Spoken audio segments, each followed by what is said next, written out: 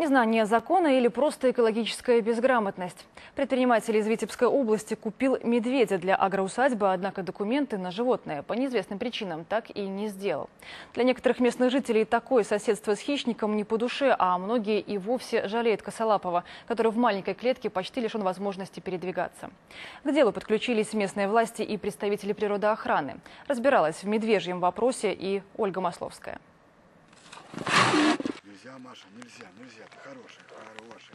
Для предпринимателя из деревни Большие Липовичи медведица Машка, а для соседей опасный хищник. Каждый день местные жители слышат рев. Огромный медведь – недавнее приобретение Алексея Петкевича. Говорит, купил медведицу у охотоведов. Решил на этом построить туристический бизнес. Она вас уже признает за хозяина, узнает вас? Да, да. Маша, Маша, Маша. Такая дружба с хищником соседей не просто настораживает, а пугает, но больше тех, кто просто жалеет животное. Условий для хозяина белорусских лесов фактически нет.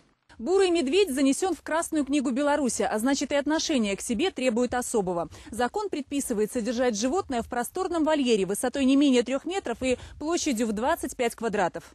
Медведице Машке пока приходится довольствоваться вот этой клеткой.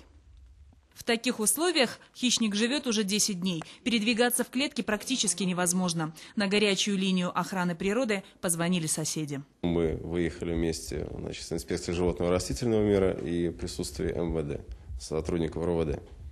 Значит, было обнаружено, что в действительности факт подтверждается, что животные находятся в клетке для транспортировки животных размером приблизительно полтора метра, метр на метр. Вел он себя спокойно, он приблизительно возраста около трех лет, здоровый, в принципе, упитанный. Видно, что он где-то содержался в нормальных условиях. А вот у хозяина медведя после встречи с защитниками природы вид бледный. Бизнесмен говорит, что даже и не догадывался о необходимости целого пакета документов на краснокнижника. Теперь предпринимателю грозит штраф.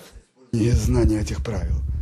Не полностью я их знал. Я думал, можно с документы это взять и, и провести его. Оказывается, видите, немножко получилась накладка. Как быстро вы планируете построить вольер? Ну, в течение месяца.